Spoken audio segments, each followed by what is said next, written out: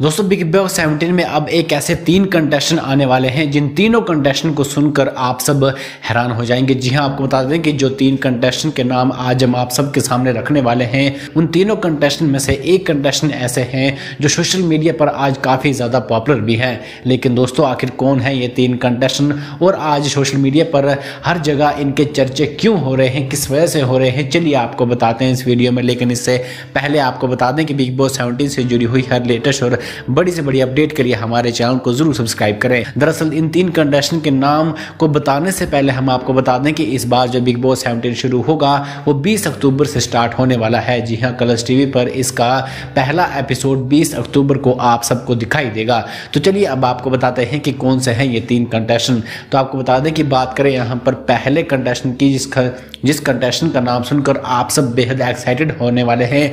तो आपको बता दें कि उस कंटेस्टेंट का नाम है हर्ष बेनीवाल। जी हाँ दोस्तों, आपको बता दें कि ये एक यूट्यूबर हैं और लोग इन्हें बेहद पसंद भी करते हैं। इतना नहीं, आपको बता दें कि हर्ष यूट्यूबर के साथ साथ फ़िल्मों में भी काम कर चुके हैं। आप सबने अगर student of the year two देखी होगी तो उसमें टाइगर श्रॉफ के साथ ये एक इंपॉर्टेंट करेक्टर में थे। जी हाँ दोस्तों, आपने बिल्कुल सही सुना। साथ साथ आपको बता दें कि यूट्यूब पर इनके लगभग वन 1.55 करोड़ सब्सक्राइबर भी हैं। बात करें यहाँ पर दूसरे कंटेस्टेंट की तो दूसरे कंटेस्टेंट का नाम है ईशा मालविया आपको बता दें कि ईशा मालविया उडारी सीरियल में काम कर चुकी हैं। बात करें यहाँ पर तीसरे कंटेस्टेंट की तो तीसरे कंटेस्टेंट का नाम है ईशा सिंह। आपको बता दें कि शालिनी भनोत के साथ इन्होंने एक सीरियल भी किया है, जिसका नाम बेकाबू है। फ़िलहाल इस खबर में इतना ही। फ़िलहाल दोस्तों, आपको इसके बारे में क्या कुछ करना है, हमारे कमेंट बॉक्स में ज़रूर लिखें। और बिग बॉस सेवेंटीन से जुड़ी हर बड़ी खबर के लिए हमारे चैनल को ज़रूर सब्सक्राइब करें।